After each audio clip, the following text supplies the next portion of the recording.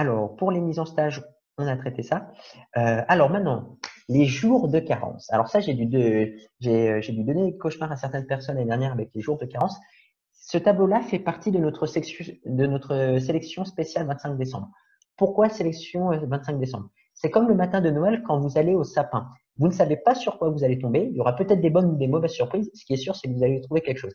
Et là, les jours de carence, c'était typiquement. Il y avait des bonnes surprises et des mauvaises surprises aussi. Alors là, je prends un ton un peu moqueur, mais c'est pour dire que c'est une partie qui a souvent été avec des données euh, qui étaient problématiques et qui prend du temps à corriger. Donc là, c'est les jours de carence, c'est une section. Il y a trois tableaux, un tableau par statut. C'est toujours le même tableau. Et donc, en fait, euh, bah, pour les euh, collectivités qui veulent éventuellement le corriger ou saisir manuellement les données dessus, parce qu'il se peut que ça soit pré-rempli par l'import NKDS ou euh, par votre modèle DGCL, si vous l'avez déjà pré-rempli, euh, ben, on va vous donner des conseils sur comment comprendre ce tableau. Alors, à mon avis, la première ligne qu'il faut remplir quand on fait ce genre de tableau, c'est nombre total d'agents rémunérés et soumis au jour de carence. En fait, cette phrase, elle n'est pas très bien tournée. Parce qu'en fait, là, on s'intéresse à tous les agents qui ont travaillé au moins une fois dans l'année. À point, c'est tout. Qu'ils aient eu un jour de carence ou non, ce n'est pas la question. C'est tous les agents qui ont travaillé au moins une fois au cours de l'année. Donc, on pose d'abord le total d'agents. Puis on vient remplir la ligne nombre d'agents auxquels a été appliqué au moins un jour de carence. Donc on a posé le total d'agents et dans ce total, on va dire, bah voilà, j'ai tant d'agents qui ont eu au moins un jour de carence prévu. Puis on vient remplir la ligne nombre d'arrêts maladie hors prolongation soumis à journée de carence. C'est-à-dire qu'on va renseigner ici que les arrêts qui ont donné lieu à des jours de carence. Et là, il y a une petite difficulté. Et je m'excuse, j'ai dû induire en erreur certaines personnes en début de campagne de l'année dernière. Les arrêts maladie. Donc, s'ils sont émis au cours de l'année 2020 et qu'ils ont donné lieu à un jour de carence, on les prend en compte mais vous allez avoir des arrêts maladie qui ont pu tomber en fin décembre 2019, à un moment où les payes étaient bouclées. Donc, ça veut dire que l'arrêt, il est bien de 2019, mais le jour de carence sera prélevé début 2020. Et donc, cet arrêt-là, on ne va pas le prendre en compte, même si le jour de carence est prélevé en 2020. Dans le sens inverse, admettons que vous avez des arrêts qui sont tombés fin décembre 2020, à aussi un moment où les payes sont bouclées, le jour de carence est donc prélevé début 2021, et eh ben, on va bien prendre en compte cet arrêt parce qu'il a été émis en 2020.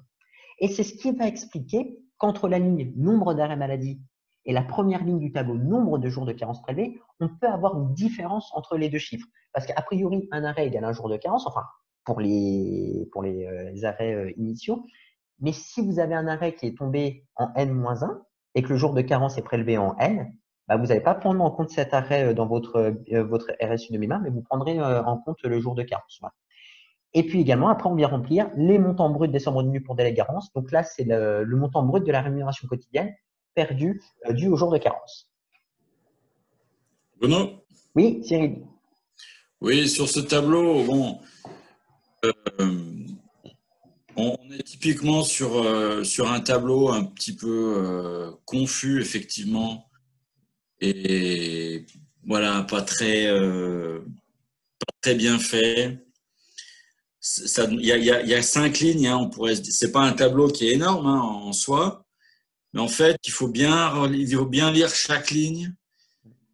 Et c'est vraiment pas intuitif. Bon, donc là, on est typiquement sur sur un tableau qui, qui, mériterait d'être euh, revu. Euh, effectivement, euh, c'est très bien ce que tu, ce que tu dis sur l'ordre le, de, de, remplissage des lignes. Alors, ça, c'est la version 2019. Euh, on ne peut pas garantir encore que le tableau 2020 euh, soit le, même. Donc ça, c'est si, le tableau est le même, bah, vous remplissez comme ça, ça vous, ça vous aidera. S'il est différent, bah, euh, les lignes seront sans doute les mêmes, être agencées différemment, je ne sais pas. Enfin voilà. Hein, mais effectivement, hein, je pense que si vous le remplissez dans cet ordre-là, ce sera plus simple pour vous. Après, si ça change, on sera là, on s'adaptera très rapidement pour, euh, pour donner des conseils. Euh, donc oui, un tableau assez, assez, assez sordide, nous pouvons le dire.